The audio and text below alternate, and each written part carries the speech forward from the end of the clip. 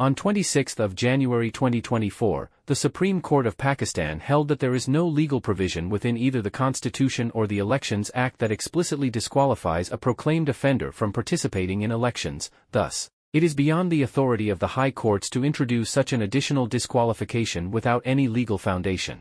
Access the full judgment on www.paklegaldatabase.com.